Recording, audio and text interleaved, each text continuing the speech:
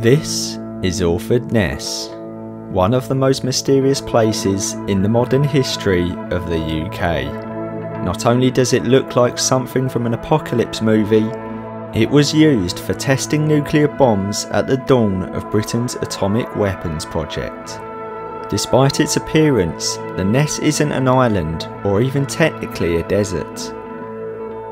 Forming a pebble shingle spit, it is separated from the Suffolk mainland by the River Alde, except for a thin stretch of land running miles to Aldeburgh. This bleak corner of Suffolk is home to many dramatic sites, from 200 year old Martello gun towers to the medieval castle in Orford village overlooking the Ness and dominating the landscape.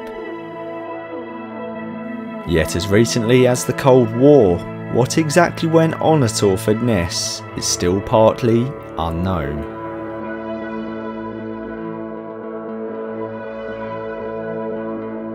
In this unique documentary, we visit the untrue island and take a look at the eerie structures left behind by the military across the secret desert.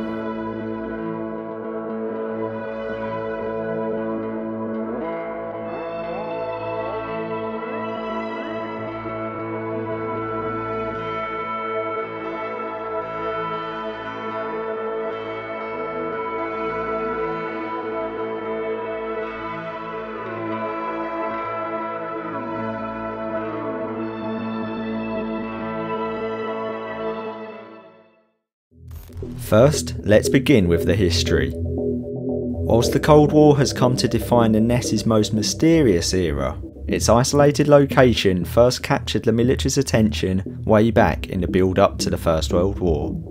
The Royal Flying Corps, the precursor to the RAF, decided the Spit would be ideal for experimental aircraft testing.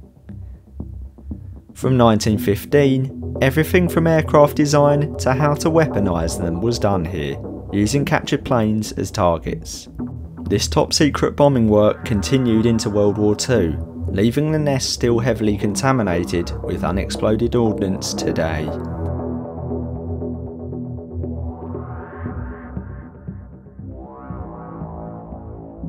Another revolutionary technology was also developed here, the first successful demonstrations of radar as an air defence system to detect enemy aircraft happened here in 1935, potentially saving Britain when war eventually broke out.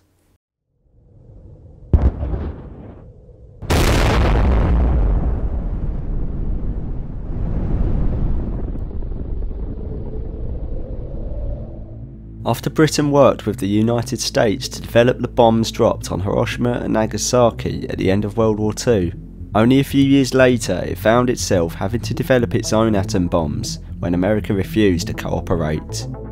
Orford Ness was one of the atomic weapons research establishment's key sites for this purpose. Believe it or not, nuclear bombs were tested here on British soil. However, nuclear components were left out, so the bombs could be tested more safely against environmental pressures, such as extreme heat, cold, speed, shock and vibration. This way, flaws which might cause accidental nuclear detonations could be troubleshooted. Whilst no nuclear components were officially used at Orford Ness, the hardened designs of its buildings suggest that high explosives were definitely in use. Still, most of what went on at the atomic establishment at Orford Ness still remains a guarded secret, and the truth could one day surprise us. As technology advanced, the establishment closed in 1971, and its structures have sat derelict ever since.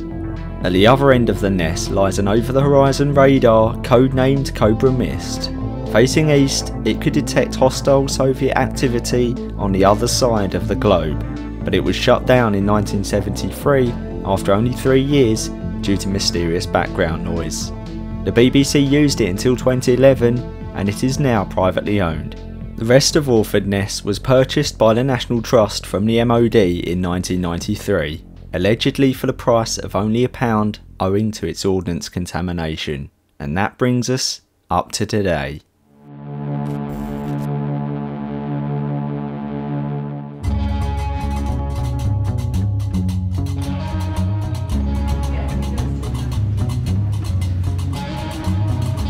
A bright summer's day in 2021, we took a boat trip with the National Trust to the Ness after having visited Orford Village the previous year.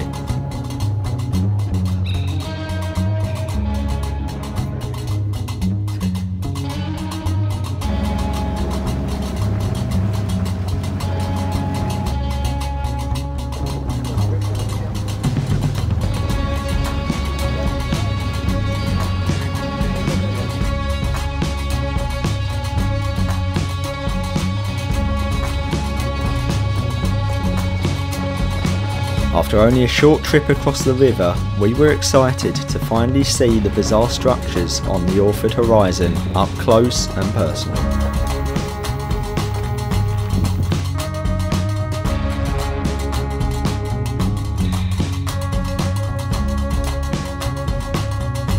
So we're at this place today, Orford Ness, somewhere that I've been interested in for a long while and I've never gotten the chance to come here but finally bit the bullet got the ferry over and we're going to have a look around this island. It's been used throughout the years since World War One, right into the Cold War where Britain's first atomic bomb was actually developed here and there's a lot of old buildings left from over the years. It's a really amazing area, quite a surreal environment actually, quite eerie and we're going to go and have a little wander around and see what interesting stuff we can find.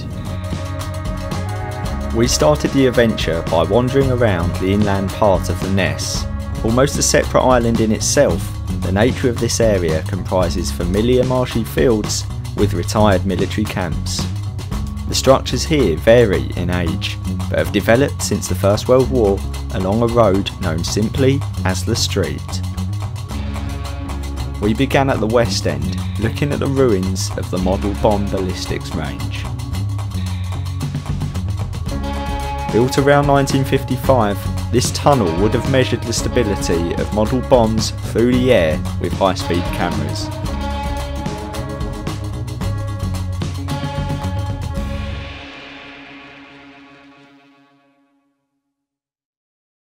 This next building from the 1950s briefly served as a headquarters and later became a telephone exchange. In recent years, it was the Visitor Information Centre, but this has been moved to a larger space.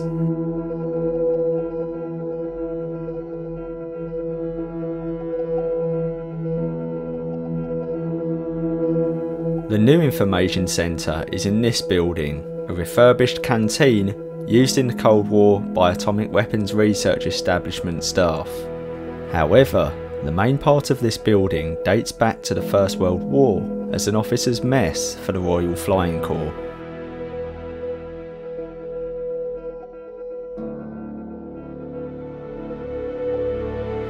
Amongst the displays, original relics can still be found.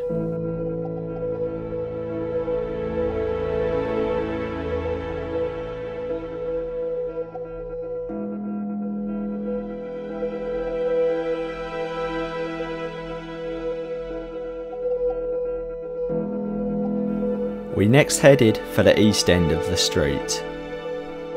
This World War I barracks would have housed troops working on Ness in its early days.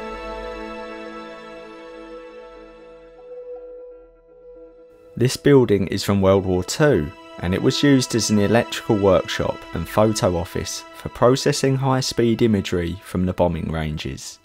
Whilst now isolated curiosities to tourists like ourselves, you have to remind yourself that these were once people's daily workplaces.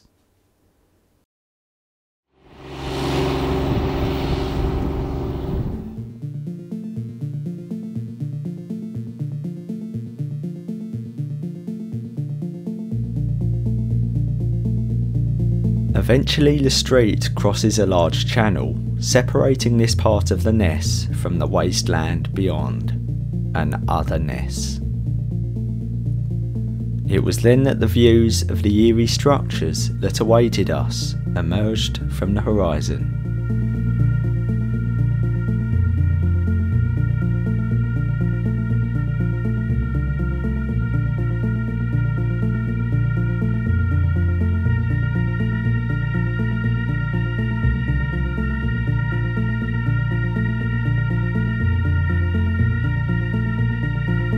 This Bailey Bridge suddenly transported us into another realm as we were greeted by the first of many imposing structures.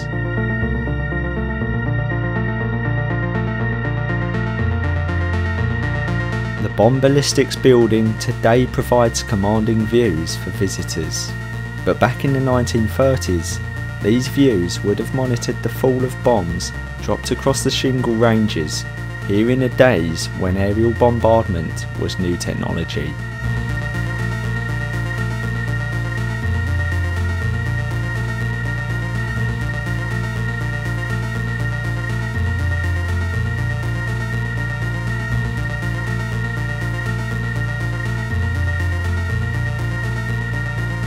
The Ness is still littered with craters from the bombs dropped during this part of its history.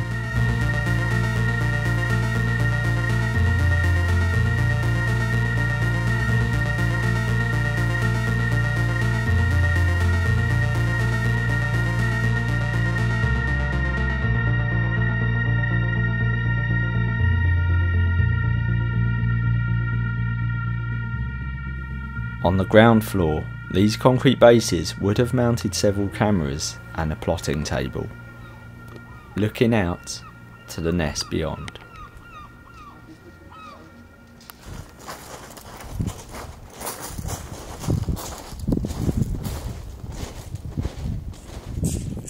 As the sun beat down on us, it began to feel more like we were stranded in a desert than close to the shore. Like the skeletons of perished creatures in the Wild West, various metal scraps stuck out of the shingle from its years of use. It is easy to see how the Ness became so contaminated with unexploded ordnance, and it is difficult to account for the activities of this place, which even at the time was guarded with secrecy.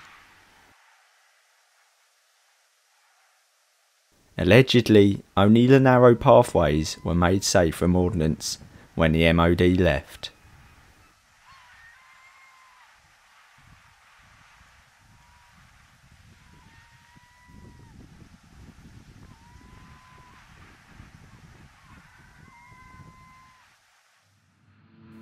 Despite a history of violence, perhaps the most iconic building on the Ness was its lighthouse.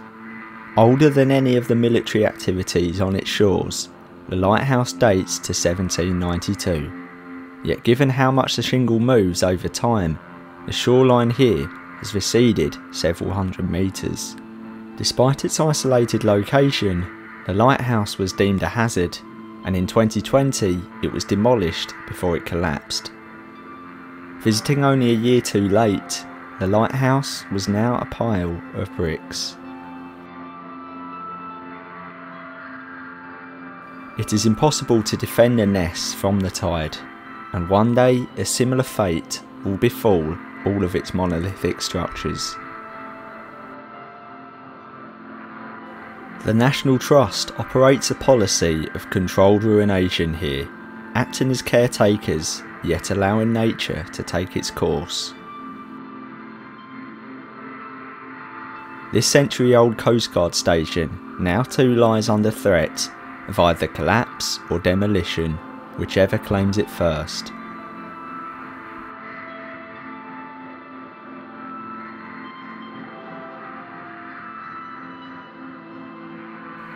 It was here we found ourselves at World's End, where both buildings and creatures have met their fates.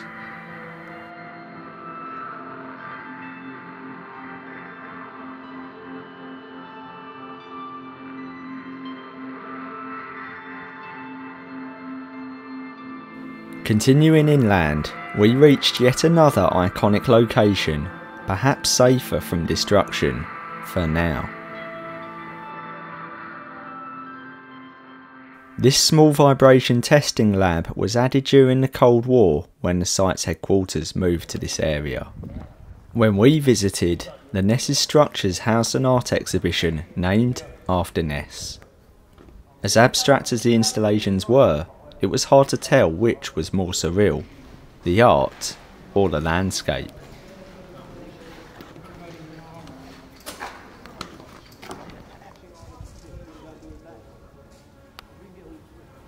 But this was the real attraction. The Black Beacon, or rotating wireless beacon, was an early radio navigation system introduced back in 1929. It could detect any ship or aircraft with a radio through a system which would evolve into radar. Luckily, it was open, so it was time to take a look inside.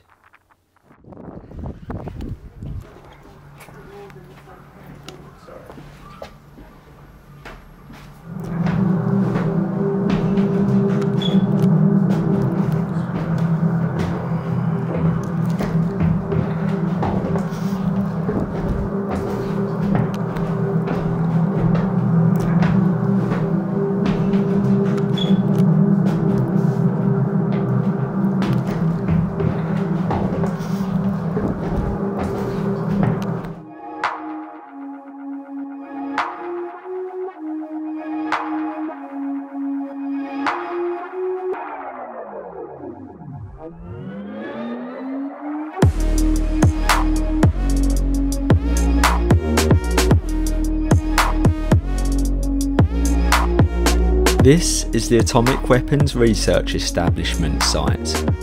Built in two main phases in the mid 1950s and early 60s, it's easy to see why this complex fascinates people. The first phase began for testing the Blue Danube, Britain's very first atomic bomb, and the facilities continued to be expanded as new designs were brought to the table.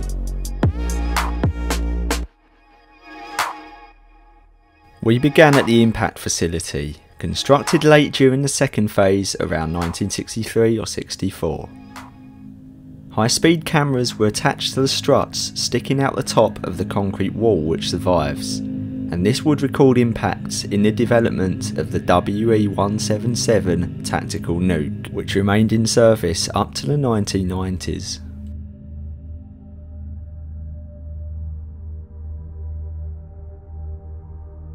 Next to the impact facility was a small mess room or store from phase 1 of the site, when the rest of our journey begins.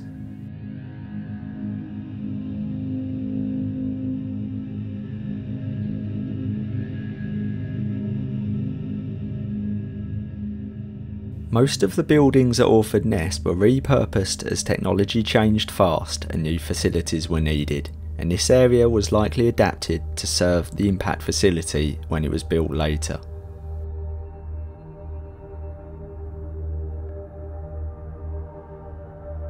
The mess room originally served this impressive remote control room, which in itself served the very dangerous Laboratory 1,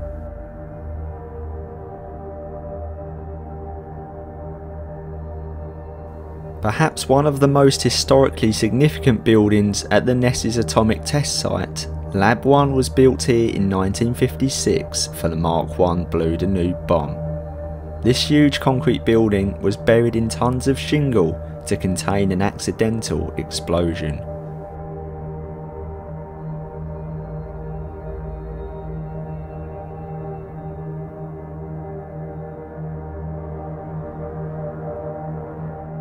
This large open space in the lab is one of two halves. They are divided in the centre by a wall to ensure activities were kept confidential even from other workers in the same building. It may have been able to keep out espionage, but nothing has been able to keep out nature. The flooded pit on the right once housed the Blue Danube amongst other bombs in vibration tests. The tests done in this very room form the legacy of national defence in a nuclear age to this day.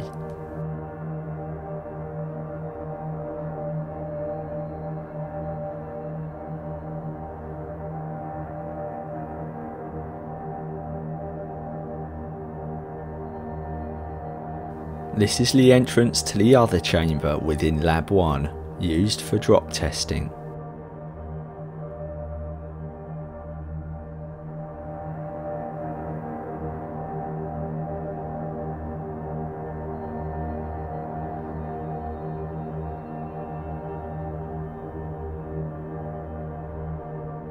If not already obvious from the ground, the massive size of this structure is clear from above, even when blended by sand into its surroundings. These plans show that you can only see the tip of the iceberg.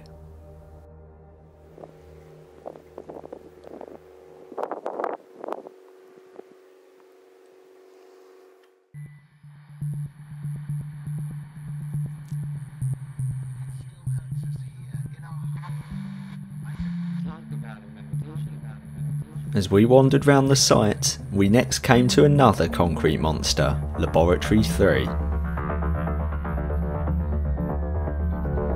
It is easily identified by its giant shielded entrance and was built at a similar time to Lab 1 for climatic testing. In other words, seeing if bombs could still function in extreme temperatures, such as the climates of the parts of the world that they might be deployed in. The giant canopy leads to a barrel vaulted thermal chamber which could be set from 60 to minus 60 degrees centigrade.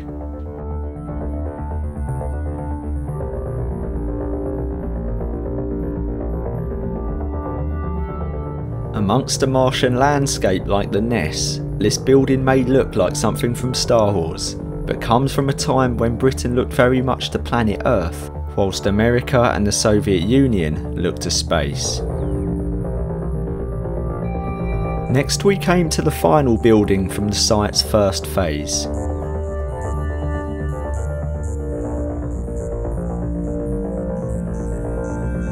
Laboratory 2 is in many respects a simpler variation of Lab 1's design.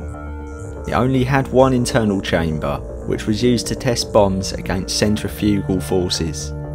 Its wide doors suggest the fully assembled Blue Danube could fit inside, and its roof once would have been covered with thin cork and aluminium to direct an explosion upwards.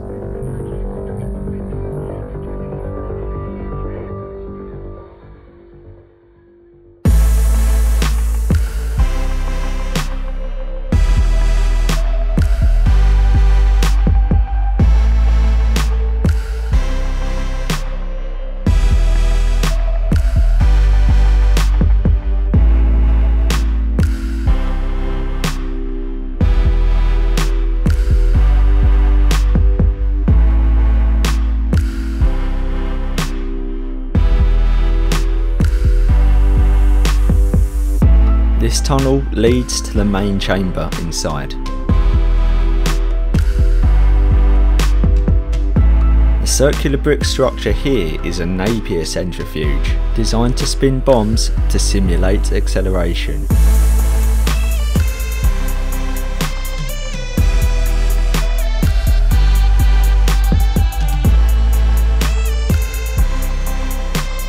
This room was used for controls and this was an air conditioning plant room.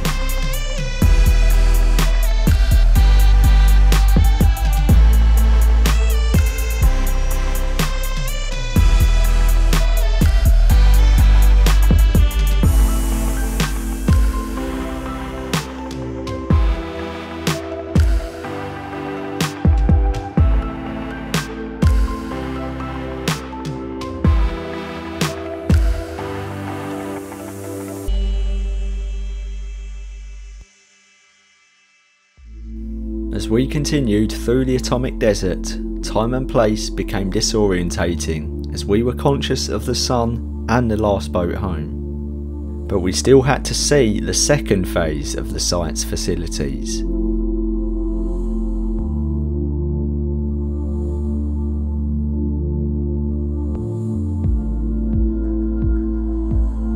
This imposing structure is a magazine known as the Armoury from around 1962, an improved store for the munitions used at Orford Ness.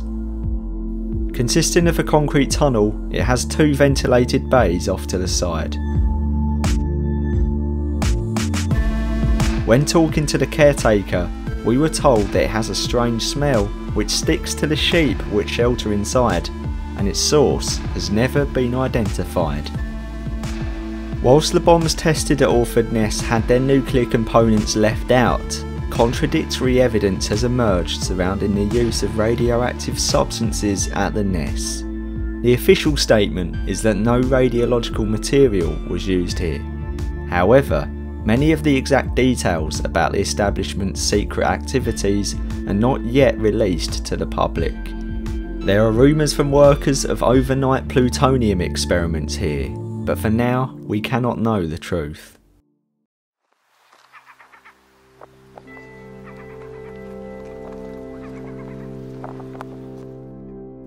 Regardless of the importance of the buildings we've looked at, it is the two pagodas built in the second phase which have become unique landmarks to the surrounding area.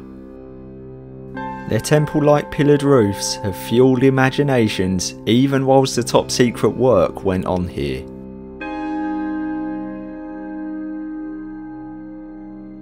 Like Laboratory 1, these were both used for vibration testing, as bombs changed, so did the buildings. Whilst Phase 1 saw many bomb designs compete, codenamed everything from green bamboo to purple granite, Phase 2 was much more streamlined, with efforts focused on more successful leading projects.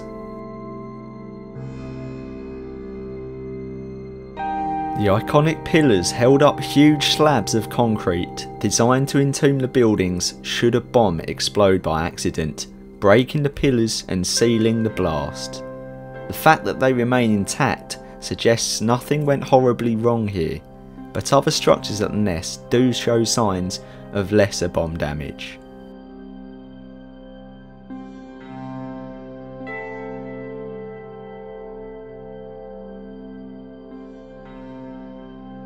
These photographs taken in the early 2000s show the tall interiors of the pagodas which go far down into the sand.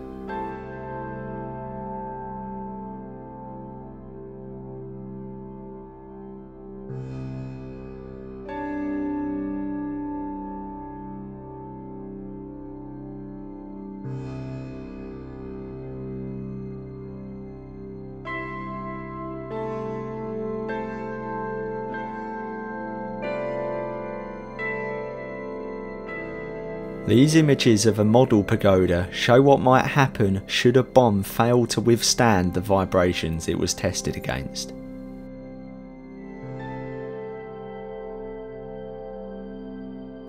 Behind the pagodas is this centrifuge building. A modernisation of the centrifuge in Lab 2, it was again needed to keep up with more modern bomb designs.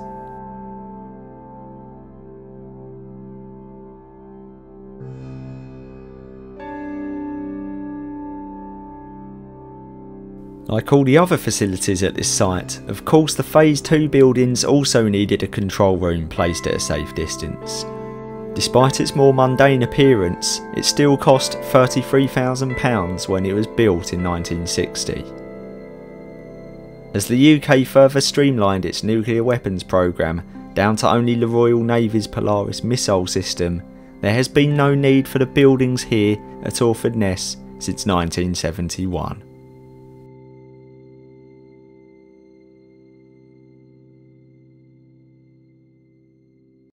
Orford Ness is the true meaning of a unique place. There may be nothing else like it, not only in the UK but in the world. From wildlife to weapons that threaten life as we know it, the Ness is a place of contrasts. Yet in its decay, nature reclaims ruins even from the brink of mankind's evolution. Like the lighthouse, the Ness symbolises civilisation's fragility. For us too, time was running out and we had to get back to the boat. As the tide ebbs and flows, the sun sets and rises on Orford Ness. Like the buildings upon it, the Ness itself is temporary, and as the sands of time are moved by the tide which made them, it may look very different a hundred years from now. We have explored what survives of the Ness' incredible past. The waste of changing technology has become home for art, and is by some considered art itself. Yet all we can do is observe its controlled ruination. like how those at this quiet Suffolk village have kept watch for centuries. The Ness's gates are open. But maybe now we can see what's inside. It raises more questions than it answers. But like every good story, as long as it keeps us wondering, it will stay alive.